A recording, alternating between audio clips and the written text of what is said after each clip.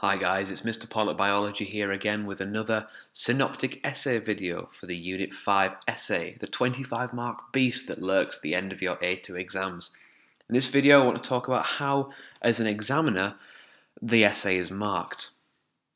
So let's get started. There's four sections that you need to worry about. Scientific content, first of all, um, and this is a mark out of 16. Now, it's kind of a strange mark, this, because there's only a couple of marks you can actually get. You can't get a mark of 15, for example, which I'll explain in a second. Basically, the examiner is going to try and classify your essay into one of these five categories, starting at the top with exceptional, down to good, average, poor, and then unacceptable. The examiner does have an option to choose an intermediate grade if he feels, or an intermediate mark if he feels that your essay falls somewhere between exceptional and good, he can give you 14, for example, or between good and average, he can give you 10. He can't give you 15, he can't give you 13, he can't give you 11, he can't give you 9, he can't give you 5, he can't give you 7, he can't give you 3, he can't give you 1. He can only go halfway between these numbers. The reason for that is to make marking a little bit easier and to try and minimize the amount of, of of variation in how different people mark. So if your essay is classed as exceptional, that means that all of the content that you have included is high quality, it's accurate, it indicates that you've got a good understanding of all the topics that have been studied at a S and A2 level, and it should also include significant reference to stuff that you haven't studied at A level, but shows that you've read beyond the specification. So this can be anything. This can be, you know, naming an enzyme in the light dependent, re- uh, the light uh, independent reaction. Uh, it can be linking to something you've read about disease. If you're a medic, you'll have done quite a bit of extra reading. If you've done an EPQ qualification, um, there's plenty of options there to talk about something that you're passionate about. So realistically, this is the perfect essay showing that you've got nothing wrong and that you've read around the subject. If your essay is classified as good, that means that the majority of your content is good and accurate, um, of a good quality, and shows that you've got a, a very good overall understanding of the topics that you've talked about. They will forgive minor errors in this. So little things um, they will they will forgive.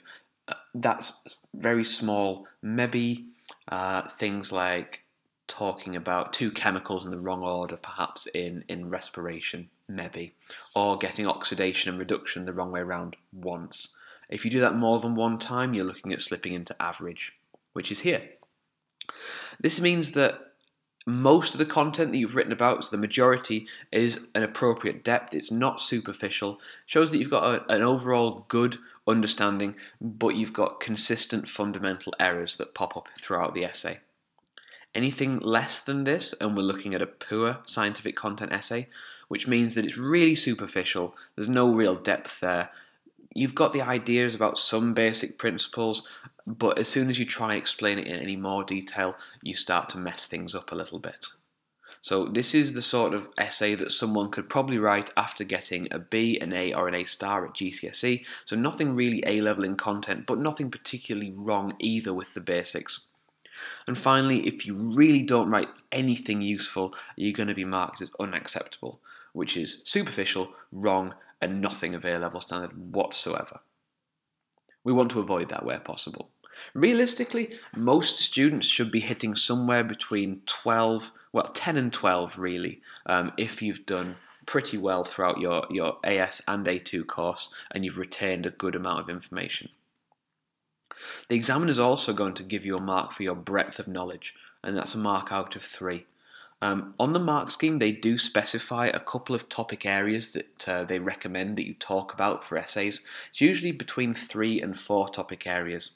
So if you've hit all three, or even four of those topic areas, um, then you're going to get the maximum mark of three here. Um, don't forget, this is something that you should have planned for. So in your essay plan, always identify different topic areas or different modules or unit areas that you're going to talk about from. Uh, two is if you've got a couple of key areas missing, so you might have missed out one topic that the examiner really thinks you should have included, or one of a selection of topics that the examiner thinks you should have included. Uh, one mark here means you've basically entirely focused your essay on one thing, and zero is completely and utterly irrelevant. So, yeah, breadth of knowledge is really nice to pick up on, and you can do it with minimal effort. Just make sure you've included a topic um, from either each of the four units that you'll do exams on, or even if you've identified that topics can be broken down into areas like uh, like the cycles essay. There's ecological cycles, there's environmental cycles, there's biochemical cycles, there's physiological cycles. Um, any anything where you're you're taking information from different topic areas shows that you've got breadth of knowledge. The third area they're going to be looking at is relevance. And this is basically about how much of your content that you're writing about actually relates to the title of the essay. So if all of your content is relevant and you've not waffled and you've not gone off topic on a massive tangent about badges, then they're going to give you three. Mind you, badges is acceptable if you're talking about TB. So badges, comment, disregard. Uh, two means that some of the content they deem irrelevant. So you might have gone off on a minor tangent there. Uh, number one, most of the content totally relevant. And zero is the whole thing is just you've written about pancakes. I can't think of any link to biology with pancakes. So there we go, three marks maximum for relevance, and that's the way the marks break down. Final section is quality of written communication, QWC, maximum mark of three here, and they're going to be looking at spelling, punctuation, and grammar, particularly the spelling of scientific vocabulary.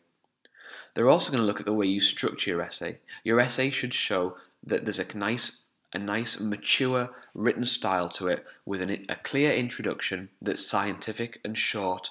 Each of the paragraphs should be linked and not just sporadically thrown together, and we don't need a conclusion. But for three marks, a good, mature, clear structure with excellent grammar and no spelling errors. For two marks, mostly scientific most scientific spellings they're going to be correct. They can forgive you one or two minor errors. One, your style is erratic, you're writing about random stuff as and when it comes to you, it's not clearly planned, there are spelling mistakes, and then zero is basically if you haven't written enough for them to judge your ability to use written language, then that's fine. I should remind you as well that this should all be written in prose. You can write, you can draw and sketch diagrams if you think they will help, if they add something, or you need to refer to a diagram. Um, but it all should be written in full sentences. I would avoid bullet points and numbered points like the plague. Full stops, capital letters, full written English. So, how does this break down? And what advice would I give to people? Well, scientific content, 16 marks. You want to be checking if your content is correct when you read through it. ask yourself have you demonstrated A level knowledge throughout your entire essay? For the breadth, a good question you can ask yourself is Have you included topics from different units and different areas of study? That should say different, but some, for some reason it says difference, my apologies. Uh, relevance, you want to be asking Is everything I've written related to the title? And for QWC, have you double checked spellings and scientific terminology?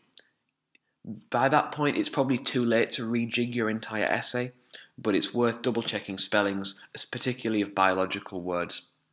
Thanks very much for watching, guys. Please like, comment, and subscribe if you found this useful. More videos on the essay coming up soon, hopefully.